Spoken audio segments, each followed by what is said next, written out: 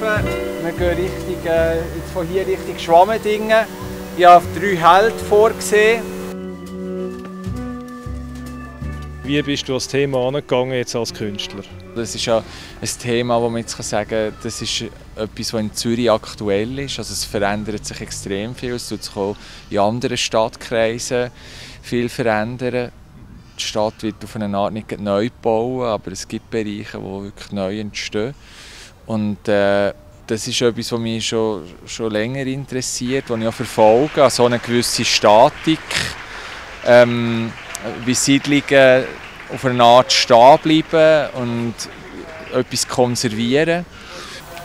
Ich habe jetzt für euch heute eine ganz konkrete Aufgabe und zwar machen wir drei verschiedene Stops auf dem Weg zu der Amag Garage und ich möchte so wie drei verschiedene Siedlungssituationen auswählen. Und dort, dort habe ich mich irgendwann bin ich auf das Thema der Inschriften gekommen, das mich interessiert in dem Sinne auch, dass das eben etwas ist, was man oft traditionellerweise macht, wenn man ein Haus neu baut.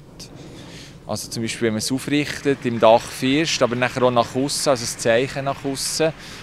Und jetzt in Bezug auf, auf den Dreispitz und auf das Quartier, das sich eigentlich wird verändern wird, hat es mich interessiert, eigentlich so wie für die Zeit, die jetzt noch übrig bleibt, so zu denken.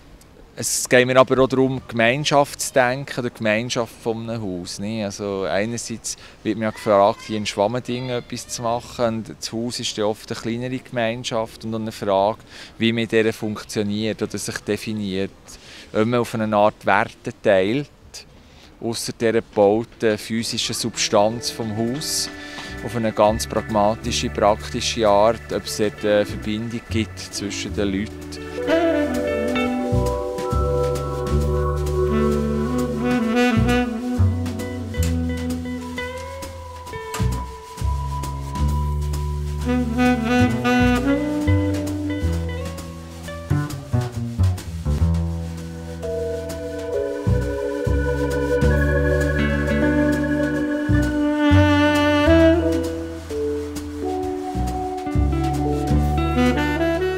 Hier haben wir jetzt eine spezielle Situation, weil es eigentlich Einfamilienhäuser sind. Also man kann jetzt wirklich Namen schauen, man kann es diesen Leuten auch widmen.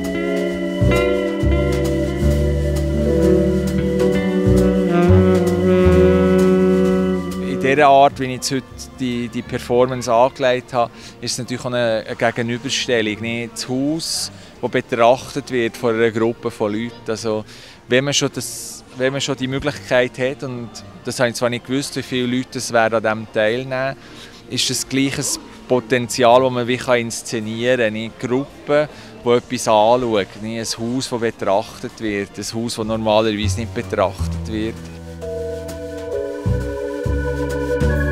Der letzte Block, wo wir waren, das Hochhaus, ist eigentlich ein Beispiel für, für, äh, für einen Generationenmix und für einen kulturellen Mix. Also man hat eher ältere Schweizer Bewohner, die schon sehr lange dort sind und man hat Jüngere, die eher äh, einen Migrantenhintergrund haben, aber die vielleicht auch schon in der zweiten Generation oder so hier sind. Also habe ich das Gefühl, muss man eher sich überlegen, wie schafft man Format, wie man verschiedene Gruppen von Leuten zusammenbringt. Was denkst du allgemein, was kann Kunst im öffentlichen Raum bewirken? Es braucht so Formate, so wie das, äh, das Lokaltermin, wo ich finde, wo ein offenes Format ist. Also es ist nicht ein Format, das äh, jetzt an ein Gebäude gebunden ist, wo man sagt, für das Gebäude muss jetzt ein Werk entstehen, sondern es ist, äh, es ist an ein Quartier gebunden und es hat uns als Künstler eigentlich sehr viel äh, Freiraum gelassen, wie wir uns in diesem Quartier hier wollen ausformulieren was wir hier für eine Aussage machen wollen. Und die nehmen wir als Künstler auch immer wieder die Freiheit und sagen, es kann manchmal schon etwas im Kleinen passieren und es kann dort auch genauso stark sein.